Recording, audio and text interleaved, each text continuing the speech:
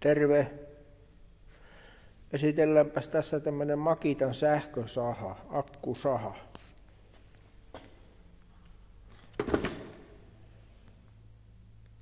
Makita XGT Bruceless. Siinä on teräketju, öljysäiliö ja tuosta näkee kätevästi paljonko öljyä jäljellä vielä. Tarkistus silmästä. Aika kaponen terä. Mä en tiedä onko tämä yksi kolmonen vai mikä se, mikä se on. Ja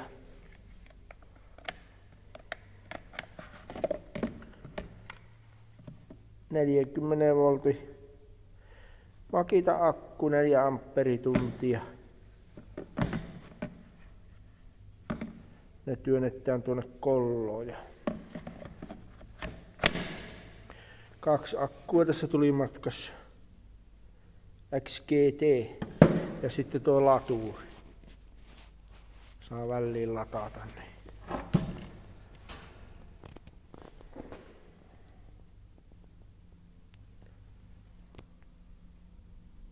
Sehän tässä hyvä, kun tästä ei ole kovin iso ääniä. Eikä tuu pakokaasupäästöjä. Päästöjä tuu, niin tuosta pistetään aina käyntiin tämä. Sitten vaan kaasuja, kaasua antaa, niin terä pyörii. Ihan näppärä. Tässä muuten on, tämä on vähän, tuossa huomas kun puita karsi, niin pihassa pistää päälle sahalle, jos on, ei tarvi olla pitkäkään viive, niin se katkii ja tuo virta. Onhan se tietenkin turvallisuuskysymys, mutta aika tihiä joutuu laittaa sen päälle. Näppärä ja jonkun verran kuitenkin painua. En tiedä, onko tämä ihan kevyemmästäkään päästä, mutta kyllähän tuolla sahailee, niin terävä on terävänä, niin ihan hyvästi. Niin katsotaanpa tuossa mä ponssella tuommoisen aika mutkaisen raitapajun kaajo ja melko ryntty oksana latvuus siinä, niin mä karsin sen ja sitten kaaja yhden pystykoivunkin siinä, niin siinä vaan sori, mun puhe kuuluu välillä niin kaukkaa huonosti ja puhuu samalla kun kamerasta on poispäin, niin taho saada selvää vai koittakaa kestää. Kyllä mä se erillisen mikin jossakin vaiheessa varmaan vielä hommaan. Niin. Mutta käydäänpäs kokeilemaan, miten se pyörii. Karsittaapa tuo latvus nyt ja kartattaa sahaa käyntiin. Nyt se on käynnissä.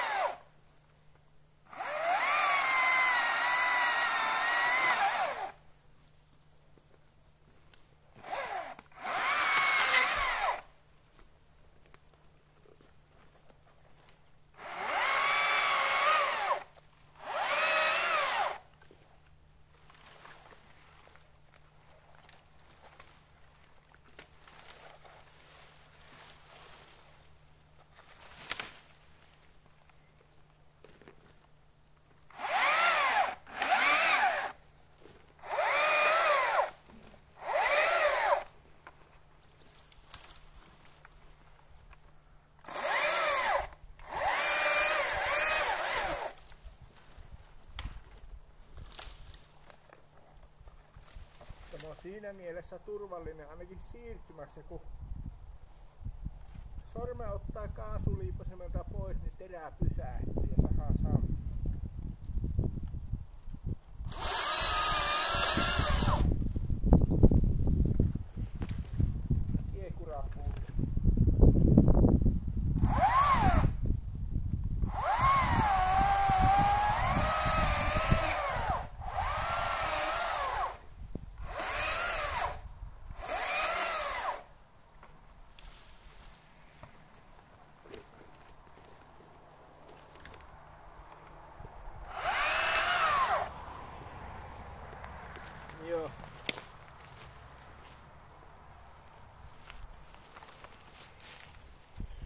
Ihan hyvästihän se pelasi. Pitäisikö meidän katsoa tuolta koivu, katsotaan. Katsotaan tuota, saako sille koivua poikki. Mihin minä teidät laitan? Tuo. Tää katsoa, että se ei tuu vaan tuota kameran päähän.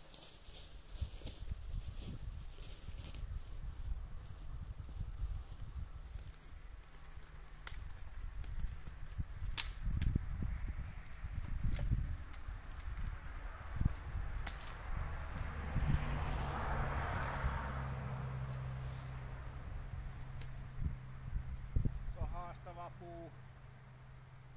Könöllään tuonne päin. Eikä oo mitään tunkkia.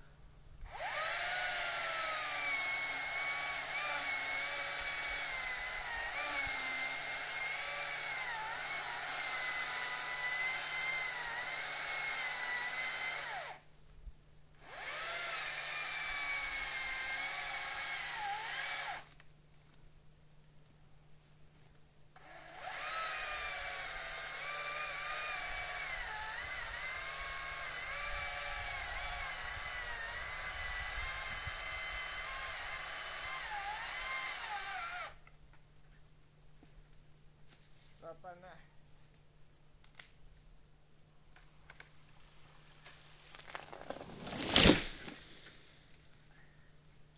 Ja se sähkösahallakin kaatui ja kuitenkin kohtuu kokonen puu. Tällähän pystyis metsurihommiin lähteä ihan tuosta vaan. Jos saa kovin pitkään ottaa näitä tyvipölkkiä, ne on niin paksuja, niin ei tuolla sirkkelillä jaksa muuten nostaa.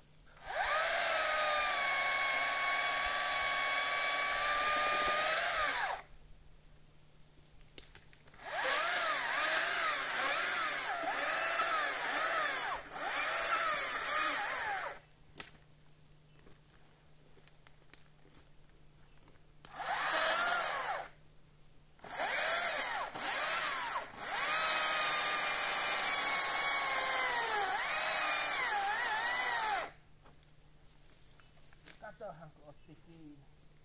Kävi vanha aika sinne. Vanha aika se kyllä sinne tuu.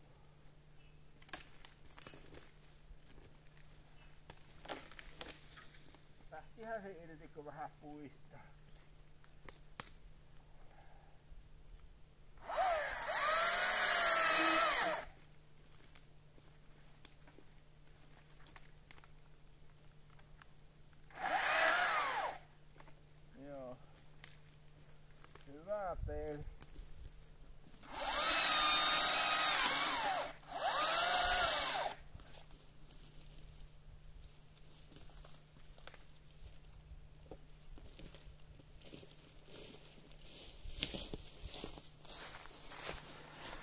Käännetäänpä pikkusen kuvaa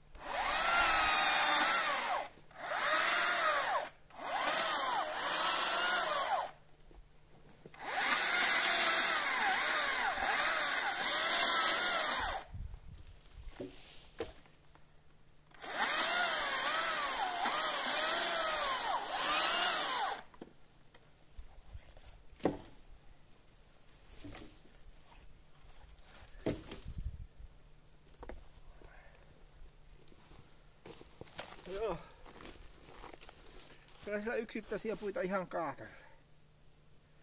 Se ei tarvii huolehtia, kun takuussa on virtaa. Sitten tuota teräketjuöljy. Ja terävä on terävä. Mieluiten vara-akkuja saa olla. Noita pikkusia pihapuita kaatella. Semmosta. Se on moro.